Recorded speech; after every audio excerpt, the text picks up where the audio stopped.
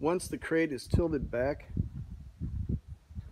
on the sides there is sets of nails that are inset.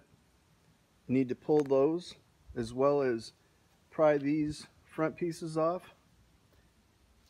And then the 2x4s will come off once you remove the nails.